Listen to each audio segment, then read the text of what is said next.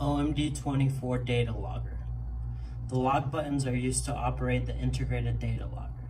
These buttons show a live display in which the current data from the alarm status, the external separator, the oil content, the device status, and the reserve is recording to IMO requirements. That data can be shown as graphical or text-based recording at any particular time. All the information will be recorded every 15 seconds. All recorded data is available for more than 18 months. The internal factory clock is set to GMT and cannot be changed or adjusted. The internal clock is adjusted to be within plus or minus two minutes. Accessing the data.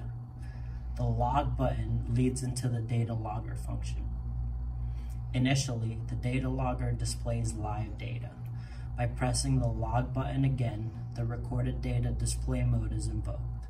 The graphical recorded data appears. By pressing the log button again, you will change into the non-graphical recorded data. The arrow buttons can be used to navigate the date and time of the recorded data. For leaving the non-graphical recorded data, press escape. The live data appears. Press escape again if you'd like to go to the PPM screen.